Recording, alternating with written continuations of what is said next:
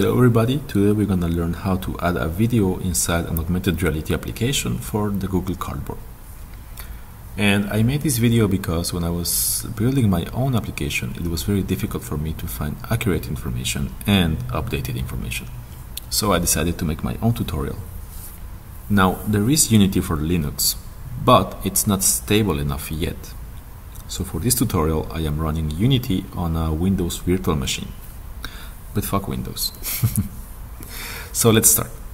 Uh, we basically need only three things for this tutorial.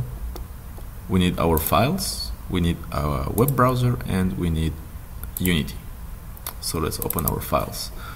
And what I want my application to do is when I scan this cute squirrel with the camera, I want this Confused Travolta video to be displayed in augmented reality. So let's do it let's open our web browser and we go to developer.vuforia.com and we create an account, we activate it, etc, etc. And once we're ready, we go to downloads. And we want to download this Vuforia 5 SDK, this one right here.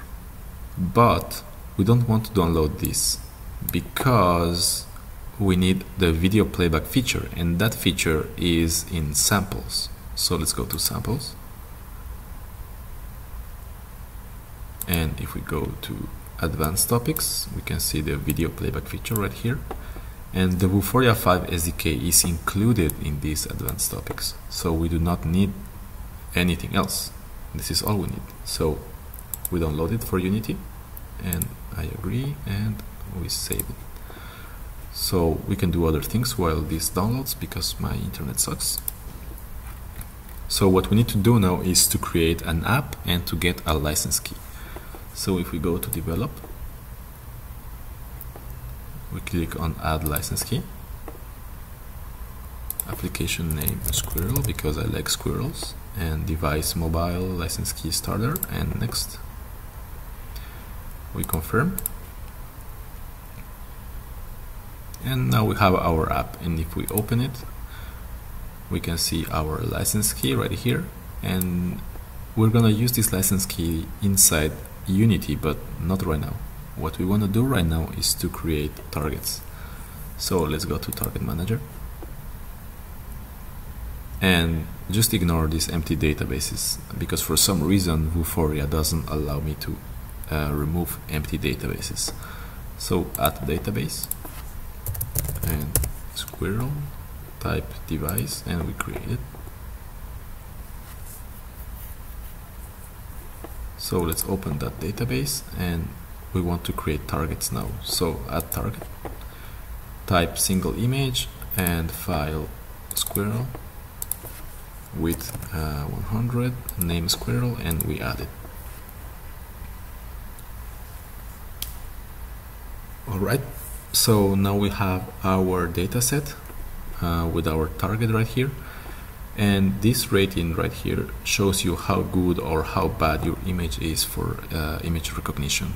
And as we can see this squirrel is not very good because it doesn't have many edges. But for a, a simple application like this one it's, it's okay. We, we don't care. So we can download the dataset for Unity of course. And uh, we save it into our folder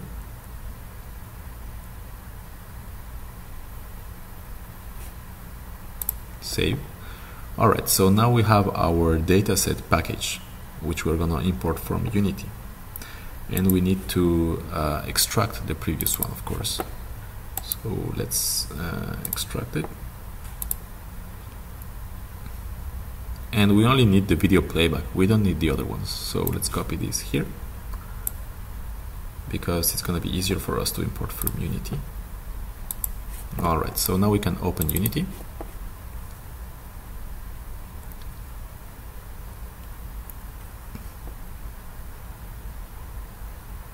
and we create a new project. Squirrel of course and 3d and create project.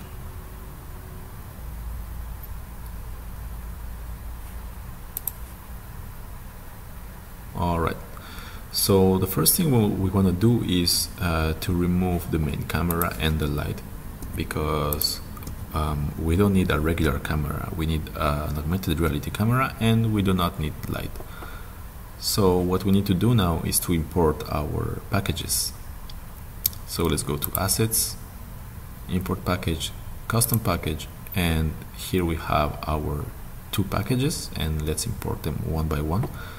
So let's import the dataset first. Import. And now we can import the SDK with the video playback feature which is a big package.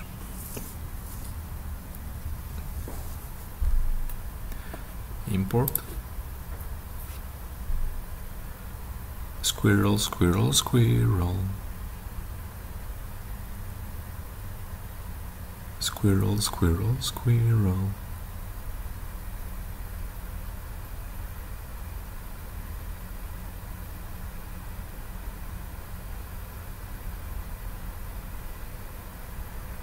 Alright. So the first thing we want to do is to add an augmented reality camera. So we go to Vuforia, prefabs, and we add the AR camera or augmented reality camera. And we can uh, put it uh, at the origin of the scene, but um, that wouldn't be a problem. We don't care about the position for this app. So what we want to do now is to add the app license key here because otherwise our app won't work. So let's go to the Vuforia website and we go to license manager.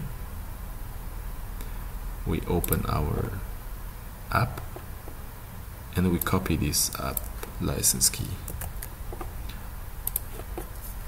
We paste it here and we need to enable the stereo cameras. The stereo cameras are basically a split screen for uh, the Google Cardboard.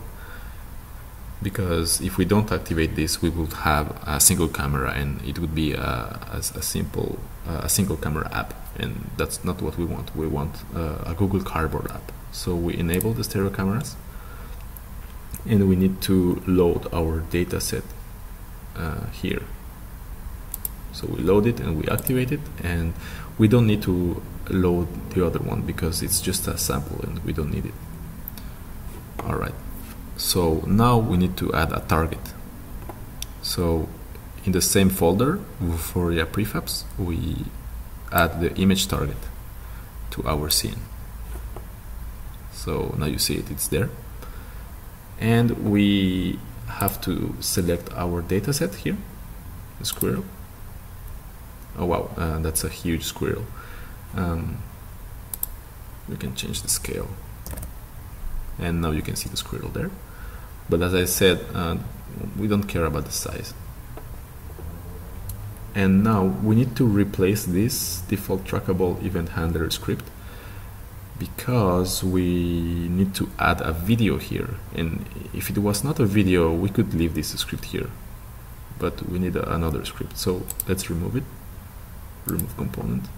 And we add a new component scripts and trackable event handler. That's the one we want. Alright so now we need to add the video inside this image target. So let's go to Vuforia video playback prefabs and video. And let's put it inside the image target. Alright so now you can see the video is there. And we are almost done. We need to uh, select autoplay of course and we need to give it a path. This path the video that we want to, to, to put here needs to be in the streaming assets folder. And as you can see we have two files here two sample files but we don't want those. We need our Travolta video. So uh, if we do right click we can import new asset and import our Travolta video and now it's there.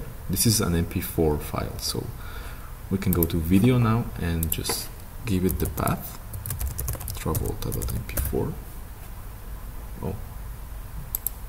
I almost forgot that. All right. So we are done now. Um, we just need to build it. Uh, so we go to file build settings and Android. And we need to go to player settings because we need to give it a company name and a product name. It's very important otherwise um, your app won't compile. So um, squirrel company. Squirrel product and we need to change it here as well. This is very important. So squirrel company. And squirrel product all right. So let's build it. Squirrel apk and let's save it alright so uh, the next part of this video will be from the Android device camera. So see you there. So as you can see our app is already working. So if we try to scan the squirrel from here it shouldn't work because it's too far. But as we get closer and closer it works. There is our confused Travolta, and he's very confused.